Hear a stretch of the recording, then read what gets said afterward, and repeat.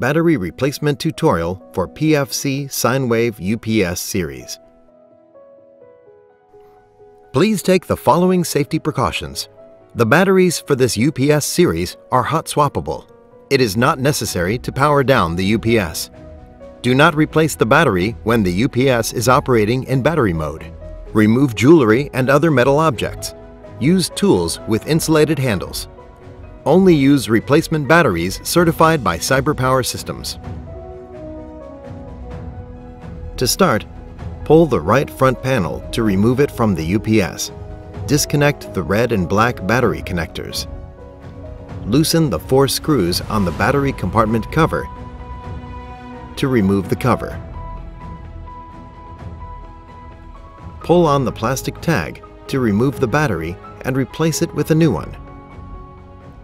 Reinstall the battery compartment cover and tighten the four screws to secure. Reconnect the black and red battery connectors. Reinstall the front panel.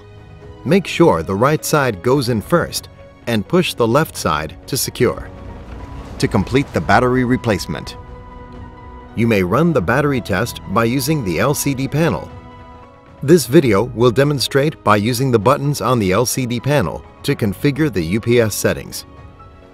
To perform battery test via the LCD panel, access the configuration menu, select the BT option, and select Yes to perform the battery test.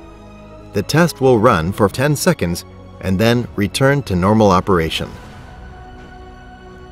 You may also run the battery test using the Power Panel Power Management software.